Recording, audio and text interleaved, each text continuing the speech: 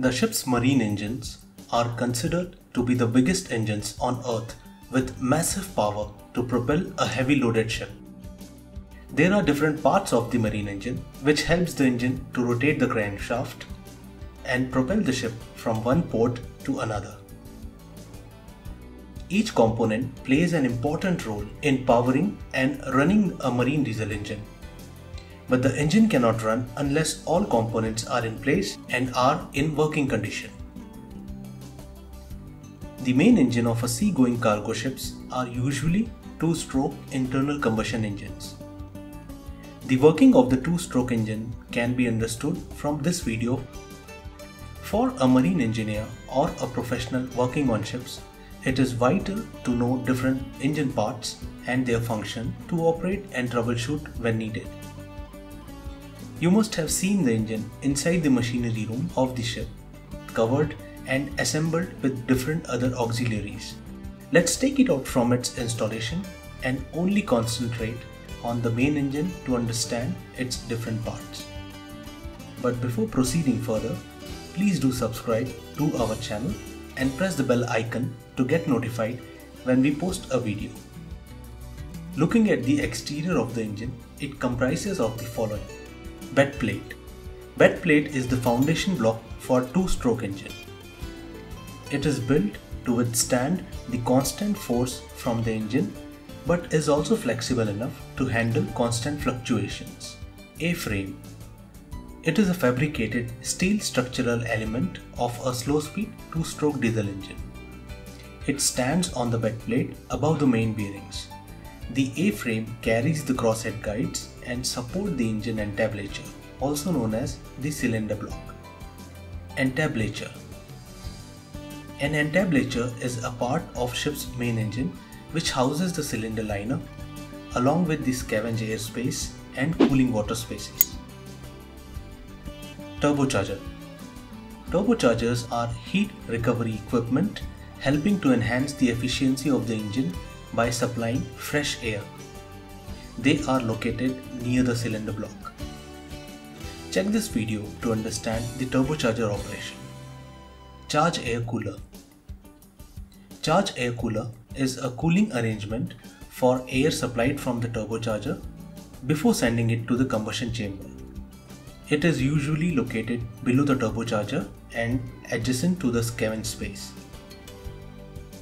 Scavenge trunk Scavenge trunk is a space where the cooled air from the charge air cooler is supplied for efficient combustion. Cylinder head It acts as a lid of the combustion chamber and supports the exhaust valve and fuel injectors necessary for operation. Exhaust valve the exhaust valve helps to draw out the exhaust gases post the combustion process. Know more about the functioning of marine engine exhaust valve in this video.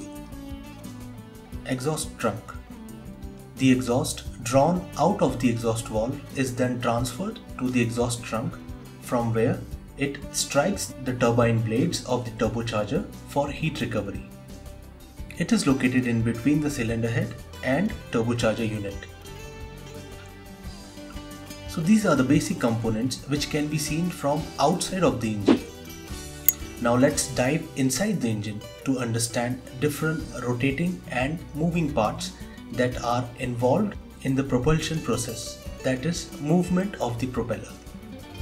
Liner It provides a durable and heat resistant combustion chamber preventing combustion products from escaping into the engine itself. It is located at the top side of the entablature. Piston Piston is used to convert the force of expanding gases into mechanical energy during the process of combustion. It moves inside the liner and is connected to the crosshead by piston rod. Piston rings. It seals the piston, therefore sealing the combustion chamber preventing gases from leaking into the piston and surrounding areas. Piston rod. It carries the piston and connects it to the crosshead where the motion transfer takes place. Stuffing box. The crankcase is separated from the cylinder and scavenge space by a diaphragm plate on a two-stroke crosshead engine. The piston rod passes through a stuffing box which is bolted into this diaphragm plate. The stuffing box contains a series of scraper rings and sealing rings to seal and separate these two spaces. Crosshead A reciprocating block which usually slides in guides and is the connecting point for piston rod and the connecting rod in a low speed two-stroke diesel engine. Connecting rod The connecting rod is fitted between the crosshead and the crankshaft. It transmits the firing force and together with the crankshaft convert the reciprocating motion to a rotary motion. Crankshaft It is the main component behind transmitting power to the propeller shaft. The crankshafts on the large modern two-stroke marine diesel engine can weigh over 300 tons.